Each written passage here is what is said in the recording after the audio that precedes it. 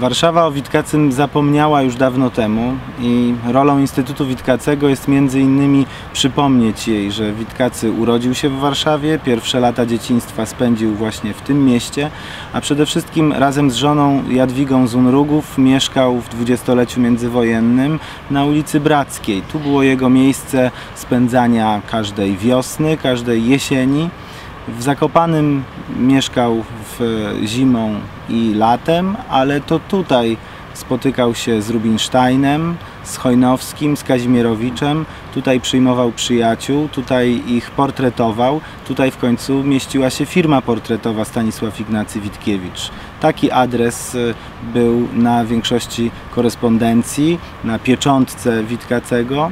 Także musimy przypomnieć Warszawie, że ten najwybitniejszy, najbardziej wszechstronny artysta, filozof, pisarz nie tylko XX wieku i nie tylko Polski był związany z tym miastem silniej niż to się chyba większości czytelników i widzów wydaje. Rozpoczęliśmy pracę nad stworzeniem mapy Warszawy Witkacego.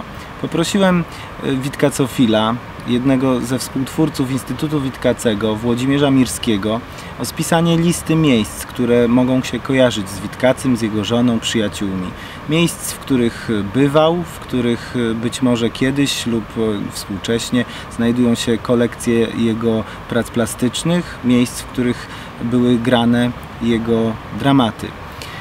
Z takich miejsc najbardziej e, kojarzących się z Witkacym to oczywiście ulica Bracka i oficyna kamienicy, która istnieje do dziś, przetrwała wojnę i miejsce, w którym było mieszkanie Witkiewiczów, chociaż zostało całkowicie zniszczone w 1939 roku ale to także miejsca w okolicach y, mostu Poniatowskiego, w których były kręcone jedyne znane obecnie filmy z udziałem Witkacego i jego żony, filmy nakręcone przez Augusta Zamojskiego, znajdujące się obecnie w Muzeum Literatury, które będą w przyszłym roku prezentowane na specjalnej wystawie.